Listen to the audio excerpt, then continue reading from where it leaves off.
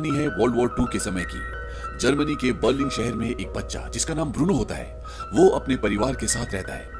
World war की वजह से पूरे शहर की हालत कुछ अच्छी नहीं होती। पूरे शहर में अफरा तफरी होती है और ब्रूनो को इस बारे में कोई भी जानकारी नहीं होती, क्योंकि नॉर्डिक आर्यन होने की वजह से उसे हिटलर या नाजी से कोई खतरा नहीं होता। नॉर्डिक आर्यन वो जाति थी, जो जर्मनी में ऊँचे पदों पर थी और जूस लोगों को अपना दुश्मन मानती थी। एक दिन जब ब्रूनो अपने दोस्तों के साथ बेफिक्र होकर घर लौटता है तो वो महसूस करता है कि उसके पूरे घर में हलचल मची हुई है। उनके सर्वेंट्स पूरे घर को साफ़ कर रहे हैं फर्नीचर को कपड़े से ढक रहे हैं और उनका सामान भी बांधा जा रहा है। पर ब्रूनो को कुछ भी समझ में नहीं आता कि हो क्या रहा तब उसकी मॉम जिनका नाम एल्सा होता है, वो उसे वहाँ पर आकर बताती है कि उसके पिता रॉल्फ का प्रमोशन हो गया है। ब्रूनो को कुछ ज़्यादा समझ में नहीं आता और इसीलिए वो अपनी मॉम से पूछता है, क्या डैड अभी भी एक सिपाही है? दरअसल उसके डैड नाजी सेना में एक बड़े औहदे पर होते हैं, वो एक अफसर होते हैं। और इसीलिए अब इनके पूरे परिवार को कंट्री साइड जाना है, क्योंकि उनका वहाँ पर ट्रांसफ़र हो चुका है। ब्रूनो की मॉम ब्रूनो को कहती है कि तुम्हारे डैड तुम्हें सब कुछ समझा देंगे। अब इनका पूरा परिवार एक साथ बैठता है और ब्रूनो के पिता उसे बताते हैं कि उनका प्रमोशन कंट्री साइड में हुआ है और अब वो सब वहाँ एक नए घर में रहेंगे। ब्रूनो को अपना घर बहुत पसंद होता है, इसीलिए वो बिल्कुल खुश नहीं होता। वो अपने घर और अपने दोस्तों को छोड़कर नहीं जाना चाहता। लेकिन उसकी बहन ग्रेटल उसे समझाती है कि वो वहाँ और नए दोस्त बना सकते हैं और उसके पिता रेल्फ उसे समझाते हैं कि जहाँ वो जा रहे हैं, वो घर बहुत ही बड़ा और बहुत सुंदर है। और क्योंकि वो एक सोल्जर है, इसीलिए उनकी ज़िम्मेदारी है कि उनका देश उन्हें जहाँ भी बुलाए, उन्हें वहाँ जाना चाहिए और उन्हें बहुत खुशी होगी अगर उनका परिवार उनके साथ रहेगा। उसी रात ब्रूनो के घर पे रेल्फ की प्रमोशन की पार्टी होती है। कई छोटे बड़े ऑफिसर्स रेल्फ के घर आते हैं, उसे सल्यूट करते हैं और उसे प्रमोशन की बधाई भी देते हैं। पार्टी के दौरान भी ब्रूनो खुश नहीं होता, क्योंकि उसका जाने का बिल्कुल भी मन नहीं है। अगली सुबह ब्रूनो जब अपने दोस्तों के साथ खेल रहा होता है, वो बहुत खुश होता है। तभी उसकी मॉम उसे आवाज़ देती है उसकी मॉम कहती है कि जाने का समय हो गया। हालाँकि ब्रूनो जाना नहीं चाहता, लेकिन उसे अब जाना होगा। उसकी मॉम कहती है कि अपने दोस्तों को गुड बाय कहने का वक्त हो गया है। ब्रूनो अपने घर को अच्छी तरह से देखता है और इसके बाद वो अपने माँ बाप के साथ कंट्री साइड चला जाता है। वहाँ पर उनका घर बहुत बड़ा होता है, सबको घर बहुत पसंद आता है। लेकिन ब्रूनो को वो घर पसंद नहीं आता, क्योंकि उसे अभी भी अपने घर की, अपने पुराने दोस्तों की याद आ रही होती है। अब ब्रूनो खिड़की से देखता है, वहाँ पर आसपास कुछ भी नहीं होता, लेकिन उसे बहुत दूर दूर छोटे छोटे घर दिखाई देते हैं। इसके बाद ये दिखाया जाता है कि इनके घर में एक हाउस मेड होती है, इसका नाम मारिया होता है, और ब्रूनो को उससे बात करके बहुत अच्छा महसूस होता है। ब्रूनो के पिता एक नाजी सोल्जर है, इसीलिए उनके घर में सोल्जर्स का आना जाना लगा रहता है। लेकिन ब्रूनो को सोल्जर्स कुछ खास पसंद नहीं आते। ब्रूनो अपने बेडरूम की खिड़की से देखता है कि पास में एक फार्म है, जहाँ से बच्चों की आवाज़ आ रही होती है। वो ये बात अपनी मॉम से कहता है कि मैंने यहाँ पर बच्चों की आवाज़ें सुनी है। क्या मैं उनके साथ खेल सकता हूँ? उसकी मॉम बोलती है कि मैंने तो कोई आवाज़ें नहीं सुनी। अगर बच्चे हैं तो तुम खेल सकते हो। तभी वहाँ पर एक फार्मर आता है, वो सब्ज़ियाँ लेकर आता है, और जब वो जा रहा होता है तो ब्रूनो देखता है कि उसने कपड़ों के नीचे खास तरह का पजामा पहना होता है। ब्रूनो अपनी मॉम से कहता है कि आपने देखा, वो फार्मर कुछ अजीब था। उसने अपनी पैंट के नीचे एक पजामा पहना हुआ था। ब्रूनो की मॉम उसकी बात का जवाब नहीं देती और वहाँ से चली जाती है। इसके बाद ब्रूनो अपने डैड से मिलता है और अपने डैड से पूछता है कि हम घर कब जाएँगे। उसके डैड बोलते हैं कि अब यही हमारा नया घर है। ब्रूनो अपने डैड से पूछता है कि मैंने फार्म में कई फार्मर्स को काम करते हुए देखा और उन सबने एक जैसे पजामास पहने हुए ऐसा क्यों है? इससे पहले कि ब्रूनो के डैड उसकी बात का जवाब देते, उसकी मॉम वहाँ पर आ जाती है और वो ब्रूनो से पूछती कि तुम्हें फार्म के बारे में किसने बताया? वो कहता है कि मैंने अपनी रूम की विंडो से देखा। दरअसल ये एक कंसंट्रेशन कैंप होता है। जो वर्ल्ड वॉर टू के समय हिटलर ने बनवाए थे। यहाँ पर वो जूस लोगों को और बाकी कैदियों को रखते थे। ब्रूनो की मॉम उसे जाने के लिए कहती है और वो अपने हस्बैंड से कहती है कि तुमने कहा था कि हमारे घर से कंसंट्रेशन कैंप बहुत दूर होगा। वो कहता है कि दूरी है। मुझे क्या पता था कि खिड़की में से ब्रूनो उस कंसंट्रेशन कैंप को देख लेगा। उसकी वाइफ कहती है कि उनमें से आज एक कैदी हमारे किचन में था और इसके बाद वो वहाँ से चली जाती है। ब्रूनो को यहाँ पर बिल्कुल भी अच्छा नहीं लग रहा होता। क्योंकि ना तो स्कूल जाता है, ना उसके दोस्त है, ना वो घर से बाहर जाता है। वो पूरा दिन इस चार दीवारी के अंदर रहता है। अगले दिन जब वो बाहर जाता है तो वो देखता है कि घर के पीछे एक दरवाज़ा है और जब वो वहाँ से जा रहा होता है, तभी उसकी मॉम उसे देख लेती है और वो उसे वापस अंदर बुला लेती है। रात को उसके डैड उसे बताते हैं कि हमने तुम्हारे लिए एक ट्यूटर बुलाया है, जो तुम्हें और तुम्हारी बहन को पढ़ाने के लिए हफ़्ते में दो बार आएगा। लेकिन ब्रूनो को इससे खुशी नहीं मिलती, क्योंकि वो बाहर जाना चाहता है, बच्चों के साथ खेलना चाहता है। ब्रूनो को कुछ समझ नहीं होती कि यहाँ पर क्या चल रहा है, क्योंकि वो अभी मात्र आठ साल का है। अगले दिन वो दोबारा अपने घर के बाहर लॉन में जाता है और वो देखता है कि वहाँ पर एक लड़का गाड़ी धो रहा होता है। इसका नाम लेफ्टिनेंट कोटलर होता है। और वो कोटलर से बोलता है कि मुझे एक टायर चाहिए। क्या तुम्हारे पास एक टायर है? वो उससे पूछता है कि तुम टायर का क्या करोगे? ब्रूनो कहता है कि मैं झूला बनाऊँगा। वहाँ पर एक बूढ़ा आदमी काम कर रहा होता है। ये वही आदमी होता है जो उनके किचन में सब्ज़ियाँ लेकर आया था। कोटलर उस बूढ़े आदमी को ज़ोर से चिल्लाकर बुलाता है और उसे कहता है कि इसे पीछे ले जाओ। वहाँ पर स्टोर रूम में टायर्स होंगे और जो टायर इसे चाहिए इसे दे दो। वो आदमी ब्रूनो को पीछे ले जाता है और जब ब्रूनो स्टोर रूम के अंदर जाता है तो वो देखता है कि ऊपर स्टोर रूम में एक रोशनदान है। ब्रूनो उसको देख रहा होता है, तभी वो बूढ़ा आदमी बोलता है कि ये टायर ठीक है। ब्रूनो कहता है हाँ और वो टायर लेकर वापस आ जाते हैं। और उस टायर के ऊपर ब्रूनो का झूला बन जाता है। और जब ब्रूनो झूला झूल रहा होता है, तभी वो आसमान में देखता है कि धुआँ उठ रहा है। और ब्रूनो झूले के ऊपर चढ़कर उस धुएँ को देखने की कोशिश करता है। लेकिन ब्रूनो का पैर फिसलता और गिर जाता है। इसके बाद जो बूढ़ा आदमी वहाँ पर होता है, जो इनके घर में काम करता है, वो ब्रूनो को अंदर लाता है और उसके पैर पर पट्टी करता है। और ब्रूनो को कहता है कि तुम जल्दी ठीक हो जाओगे। ब्रूनो कहता है कि तुम्हें कैसे पता? तुम डॉक्टर नहीं हो। वो कहता है यस आई एम मैं डॉक्टर हूँ. यहाँ आने से पहले मैं एक डॉक्टर था। ब्रूनो हैरान होता है कि डॉक्टर होने के बाद भी वो यहाँ पर सब्ज़ी उगाता है। वो आदमी उसे अपना नाम भी बताता है। वो कहता है, मेरा नाम पेवेल है। तभी ब्रूनो की मॉम वहाँ पर आ जाती है और वो ब्रूनो के पैर पर चोट देखकर हैरान जाती है। ब्रूनो बोलता है कि मैं झूला झूल रहा था और मेरा पैर फिसल गया, मुझे चोट लग गई। लेकिन पेविल ने मेरे पैर पर पट्टी बांधी। ब्रूनो की मोम ब्रूनो को अंदर भेज देती है और पेविल को उसके काम के लिए थैंक्स बोलती है। अगले दिन एक ट्यूटर ब्रूनो को और उसकी बड़ी बहन ग्रेटल को पढ़ाने के लिए आता है। वो उन्हें नाजीज की हिस्ट्री पढ़ाता है, जो ब्रूनो को बिल्कुल भी पसंद नहीं आती। ब्रूनो एक दिन छुपकर घर के पीछे जाता है और वो उसी स्टोर रूम में जाता है, जहाँ पर उसने ऊपर रोशनदान देखा था और वो उस रोशनदान से कूदकर बाहर चला जाता है। बाहर जाने के बाद वो देखता है चारों तरफ़ जंगल होता है और इस जंगल में ब्रूनो अपने आप को आज़ाद महसूस करता है और वो भागता हुआ उस फार्म की तरफ़ जाता है, जो उसने अपनी खिड़की से देखा था। और वहाँ पहुँचने के बाद वो देखता है कि वहाँ पर बहुत ऊँची और बड़ी बड़ी लोहे की तारे लगी होती है और तारों की दूसरी तरफ़ कंसेंट्रेशन कैंप होता है, जिसे ब्रूनो फार्म समझता है। तभी वो देखता है कि वहाँ पर एक बच्चा बैठा होता है। ब्रूनो उसके सामने जाता है और वो बच्चा ब्रूनो को देखकर डर जाता है। इस बच्चे ने स्ट्राइप्स वाले कपड़े पहने होते हैं, यानी कि इस बच्चे के कपड़ों में लाइंस होती है और तारों के उस तरफ़ जितने भी लोग होते हैं, सबके कपड़ों पर स्ट्राइप्स होती है, क्योंकि ये सब गुलाम है, सब कैदी है। और ये बच्चा, जो मात्र आठ साल का है, ये भी उन गुलामों में से एक है। ब्रूनो से पूछता है, क्या तुम्हारे दोस्त हैं? वो कहता है हाँ लेकिन वो सब लड़ते हैं, इसीलिए मैं उनके साथ नहीं खेलता। ब्रूनो कहता है कि, मेरा नाम ब्रूनो है। वो बच्चा कहता है कि, मेरा नाम शेमुल है। ब्रूनो कहता है कि, मैंने पहली बार ये नाम सुना है। वो बच्चा कहता है कि, मैंने भी ब्रूनो नाम पहली बार सुना है। इसके बाद शमूल ब्रूनो से पूछता है, तुम्हारे पास खाने के लिए कुछ है? क्योंकि वो भूखा है, वो एक कैदी है। हालाँकि वो आठ साल का है, लेकिन इस वक्त वर्ल्ड वॉर टू के समय आपकी उम्र कोई मान्य नहीं रखती। आप किस कम्युनिटी से हो, किस देश से हो, सिर्फ़ ये मान्य रखता है।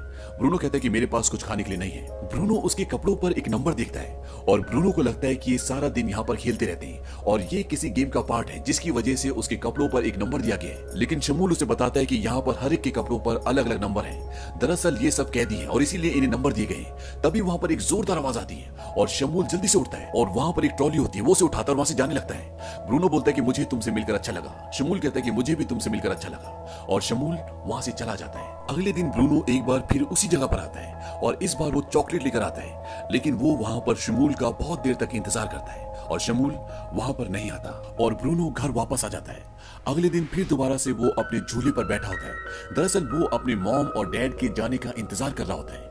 और जैसे उसकी मॉम डैड जाते हैं, वो भागता हुआ उसी जगह पर जाता है, क्योंकि वो शमूल से मिलना चाहता है। उसने अभी तक इस पूरी जगह में एक ही बच्चा देखा है, जो उसकी उम्र का है। और आज वो शमूल से मिलता है। वो शमूल से पूछता है कि तुम लोग हमेशा ये स्ट्राइप्ड वाले पजामास क्यों पहन के रखते हो? शमूल बताता है कि सोल्जर्स ने हमारे कपड़े हमसे छीन लिए और बदले में हमें ये कपड़े दिए। मैं सोल्जर्स को बिल्कुल पसंद नहीं करता। ब्रूनो बोलता है कि मेरे पिता भी एक सोल्जर है, लेकिन वो कभी किसी के कपड़े नहीं छीनते। वो एक अच्छे सोल्जर है। ब्रूनो शमूल के लिए यहाँ पर खाना भी लेकर आता है, और इस बार उसके पास एक बॉल भी होती है। वो शमूल के साथ खेलना चाहता है, लेकिन शमूल का पूरा ध्यान खाने पर होता है, क्योंकि कंसंट्रेशन कैंप में इन्हें खाने के लिए भरपेट नहीं दिया जाता। ब्रूनो शमूल की तरफ़ अपनी बॉल फेंकता है। वो बॉल उठाकर लाता है और शमूल को देता है। वो कहता है कि दोबारा इसे अंदर मत फेंकना।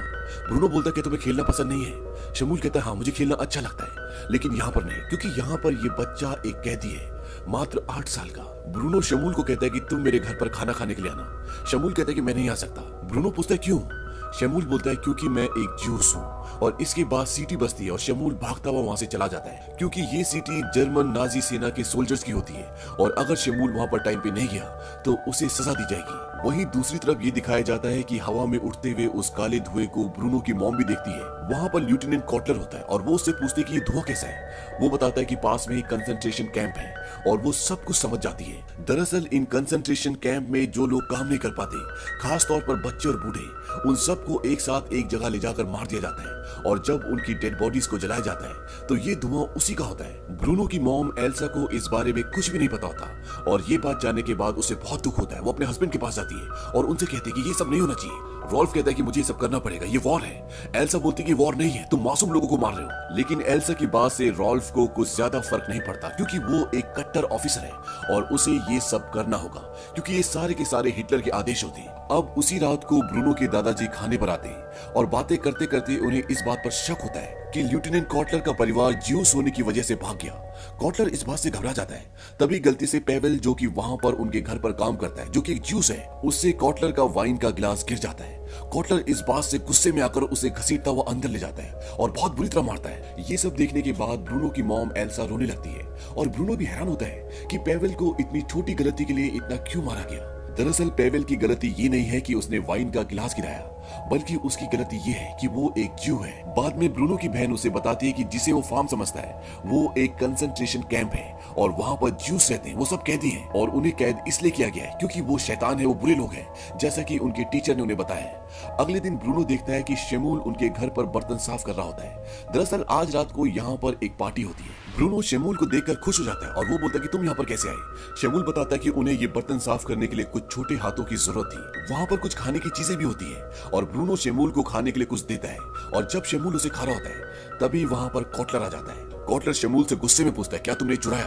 वो कहता है, नहीं, ये मेरा दोस्त है और इसने मुझे दिया और जब कॉटलर ब्रूनो से गुस्से में ही पूछता है तो ब्रूनो डर के मारे ये बता देता है कि मैंने ऐसा कुछ भी नहीं किया। इसके बाद वो ब्रूनो को वहाँ से भेज देता है। लेकिन ब्रूनो को दिल दिल में बहुत दुख होता है, वो दोबारा उस जगह पर आता है। लेकिन तब तक वहाँ से शमूल जा चुका होता है। ब्रूनो भागता हुआ उस जगह पर जाता है जहाँ पर वो शमूल से मिलता है, लेकिन शमूल वहाँ पर नहीं होता। उसी दिन ब्रूनो के घर कुछ सोल्जर्स आते हैं और वो सब मिलकर जू कैम्प की एक डॉक्यूमेंट्री देख रहे होते हैं। और ब्रूनो भी इस डॉक्यूमेंट्री को छुप कर देखने लगता है। उस डॉक्यूमेंट्री में ये दिखाया जाता है कि ज्यूस लोग कंसंट्रेशन कैंप में बहुत खुश हैं। और ब्रूनो को लगता है कि कंसंट्रेशन कैंप एक अच्छी जगह है, जहाँ पर सभी लोग खुश हैं। दरअसल इन लोगों ने ये डॉक्यूमेंट्री दुनिया को दिखाने के लिए बनाई होती है, लेकिन सच्चाई कुछ और ही होती है। इसके बाद ब्रूनो कई बार शमूल से मिलने के लिए जाता है। कभी वो अपना बैडमिंटन लेके जाता है, ताकि वो शमूल के साथ खेल सके। कभी वो उसके लिए खिलौना लेके जाता है, लेकिन शमूल उसे नहीं मिलता। और एक दिन शमूल वहीं पर बैठा होता है, जहाँ पर ब्रूनो उससे मिलता है। ब्रूनो उसे देखकर खुश होता है, और वो दोनों वहाँ पर खेलते भी हैं। ब्रूनो की आँख में गहरी चोट होती है। जैसे उसे किसी ने बहुत बुरी तरह से मारा हो। शमूल ब्रूनो को उस दिन के लिए माफ़ कर देता है और इसके बाद ही खेलते हैं। और यहाँ पर यह दिखाया जाता है, शमूल खेलते खेलते पहली बार हंसता है। कई दिनों से मिलते मिलते अब ये दोनों बहुत अच्छे दोस्त बन चुके हैं। वही घर पर यह दिखाया जाता है, ब्रूनो की मॉम एल्सा नहीं चाहती कि उसके बच्चे इस माहौल में पले, जहाँ पर बेगुनाह लोगों को मारा जाता है। वो अपने पति को एक मर्डर समझती है। और अब ब्रूनो के डैड ये डिसाइड करते हैं कि वो अपने दोनों बच्चों को यहाँ से कहीं और भेज देंगे। वो अपने दोनों बच्चों को बुलाते हैं और वो ब्रूनो से पूछते हैं, क्या तुम यहाँ पर खुश हो? वो कहता हाँ मैं यहाँ पर खुश हूँ। ये जवाब सुनने के बाद उसकी बहन उसे ध्यान से देखती है, क्योंकि ब्रूनो यहाँ पर खुश नहीं था। लेकिन अब शमूल की वजह से, उसकी दोस्ती की वजह से वो यहाँ पर खुश है। और वो अपने पुराने दोस्तों को भी मिस नहीं करता, इसीलिए वो यहाँ से नहीं जाना चाहता। लेकिन ब्रूनो के डैड ये कहते हैं कि हम तुम दोनों को यहाँ से कहीं और भेज रहे हैं। अब ये बताने के लिए ब्रूनो शमूल से मिलता है कि हम कल लंच के बाद हमेशा के लिए यहाँ से जा रहे हैं। इस बात से ये दोनों उदास हैं। ब्रूनो शमूल को बोलता है कि मैं तुम्हारे डैड को ढूँढने में तुम्हारी मदद करूँगा। दरअसल शमूल के डैड कई दिनों से लापता होते हैं। तभी ब्रूनो के हाथ में जो स्टिक होती है, वो मिट्टी में मारता है और वहाँ से मिट्टी उठती है और उसके दिमाग में एक आइडिया आता है। वो कहता है कि मैं यहाँ पर खड्डा खोद कर नीचे से तारों के उस तरफ़ आ सकता हूँ। शमूल कहता है कि मैं भी उस तरफ़ आ सकता हूँ। ब्रूनो कहता है, तुम्हारे डैड उस तरफ़ लापता हुए थे यहाँ नहीं? लेकिन एक प्रॉब्लम है, मैं तुम्हारी तरह नहीं दिखता। शमूल बोलता है कि तुम मेरी तरह कपड़े पहनोगी तो तुम भी मेरी तरह दिखोगी। ब्रूनो कहता है कि मैं कपड़े लाऊँगा कैसे? शमूल बोलता है कि वहाँ पर बहुत सारे कपड़े हैं। बस तुम अपने बाल कटवा लेना जिस तरह से मेरे हैं। ब्रूनो कहता है, मैं ऐसा नहीं कर सकता। शमूल कहता है कि तो फिर तुम अपने बाल छुपा लेना और वो ये कहता वो वहाँ से चला जाता है कि कल हम यहीं पर मिलेंगे और अगले दिन ब्रूनो वहाँ पर आ जाता है। शमूल उसके लिए कपड़े भी लाया होता है और साथ में कैप भी होती है, जिसे पहनने के बाद अब शमूल और ब्रूनो दोनों एक जैसे दिखते हैं। इसके बाद ब्रूनो ज़मीन में गड्ढा करके उस तरफ़ आ जाता है, जिस तरफ़ शमूल होता है। दरअसल ब्रूनो के लिए ये पूरा एक मिशन होता है और इस मिशन में वो शेमूल के डैड को ढूंढना चाहता है। और ये दोनों उस जगह से कैंप के बीचों बीच आ जाते हैं, जहाँ पर बहुत सारे जूस लोग होते हैं और इन सबने स्ट्राइप्स वाले कपड़े पहने हुए ब्रूनो शेमूल को बोलता है, क्या हम कैफ़े जा सकते हैं? शेमूल बोलता है, यहाँ पर कोई कैफ़े नहीं है। दरअसल ब्रूनो को पता ही नहीं होता कि ये सब कैदी है। इसके बाद ब्रूनो कहता है कि मुझे लगता है मुझे घर जाना चाहिए, क्योंकि उसको वहाँ का माहौल बहुत अजीब लग रहा होता है। शमूल कहता है, मेरे डैड का क्या? ब्रूनो कहता है, ठीक है, चलो हम उन्हें ढूंढते हैं। और वो शमूल के डैड को ढूँढने के लिए कैंप्स के अंदर जाते हैं और तभी वहाँ पर जर्मन सोल्जर्स आ जाते हैं और वहाँ पर जितने भी ज्यूस लोग होते हैं, वो उन सबको वहाँ से बाहर ले जाते हैं। वहीं दूसरी तरफ़ घर पर यह दिखाया जाता है कि ब्रूनो की मॉम को पता चल जाता है कि ब्रूनो घर पर नहीं है और इसके बाद ब्रूनो की मॉम, डैड और कुछ सिपाही सब मिलकर ब्रूनो को ढूंढना शुरू कर देते हैं और कुत्तों की मदद से वो ये पता कर लेते हैं कि ब्रूनो किस तरफ़ गया होगा और धीरे धीरे ब्रूनो की मॉम, डैड और सिपाही उस तरफ़ बढ़ते हैं, जिस तरफ़ कंसंट्रेशन कैंप होता है। यहाँ पर बहुत ज़ोर से बारिश भी शुरू हो जाती है और ब्रूनो को, शेमूल को और सारे जूस लोगों को एक बहुत बड़े हॉल के अंदर ले जाया जाता है। और उनसे कहा जाता है कि तुम सब अपने कपड़े उतारो, तुम्हें यहाँ पे शार्ट दिया जाएगा और ये सब अपने कपड़े उतारते हैं। और इसके बाद जर्मन सोल्जर्स बाहर से दरवाजे बंद कर देते हैं। वहीं दूसरी तरफ़ ये दिखाया जाता है कि ब्रूनो के डैड उस जगह तक पहुँच जाते हैं, जहाँ पर ब्रूनो ने अपने कपड़े उतारे थे। और वो समझ जाते हैं कि ब्रूनो कंसंट्रेशन कैंप के अंदर है। वो भागते हुए कैंप के अंदर आते हैं और ज़ोर ज़ोर से ब्रूनो का नाम चिल्लाते हैं। लेकिन ब्रूनो का कहीं कुछ पता नहीं चलता। वही ये दिखाया जाता है कि जिस बहुत बड़े हॉल के अंदर ब्रूनो को, शमूल को और बाकी सभी जूस लोगों को बंद किया गया था वो एक बहुत बड़ा गैस चैम्बर था और जर्मन सोल्जर्स ऊपर से जहरीली गैस उस चैम्बर के अंदर छोड़ देते अंदर सब लोग डर रहे होते, चीख रहे होते, चिल्ला रहे होते, लेकिन उनकी आवाज़ सुनने वाला वहाँ पर कोई भी नहीं होता। बाहर ब्रूनो के डैड अब ये समझ जाते हैं कि हो ना हो, ब्रूनो को और सब जूस लोगों को चिमनी के अंदर ले गए, जहाँ पर वो उन सबको मारने वाले और जब तक ब्रूनो के डैड उस चिमनी तक उस गैस चैम्बर के बाहर तक पहुँचते हैं, तब तक वहाँ पर पूरी तरह से सन्नाटा छा चुका होता है। क्योंकि ब्रूनो, शमूल और जितने भी लोग वहाँ अंदर होते हैं, वो सब के सब मर चुके होते हैं। और ब्रूनो के डैड रॉल्फ समझ जाते हैं कि उनका बेटा इस चैम्बर के साथ, बाकी जूस लोगों के साथ अब इस दुनिया में नहीं रहा, वो मर चुका है। और वो इसी दुख के साथ ज़ोर से चिल्लाते हैं। और बाहर ब्रूनो की मॉम और उसकी सिस्टर उस जगह पर होते हैं, जहाँ पर ब्रूनो ने अपने कपड़े उतारे थे। और वो अपने पति की चीख की आवाज़ सुनकर समझ जाती है कि कोई अनहोनी हो चुकी है। और वो अपने ब्रूनो के कपड़ों को पकड़कर वहीं पर ज़ोर ज़ोर से रोना शुरू कर देती है और अंत में उस गैस चैम्बर का दरवाज़ा दिखाई जाता है, जहाँ पर अंदर सबकी डेड बॉडीज पड़ी है और बाहर बहुत सारी स्ट्राइप्स वाली ड्रेसेस लटकी हुई है और इसी के साथ ये कहानी यहीं पर खत्म हो जाती है। हालाँकि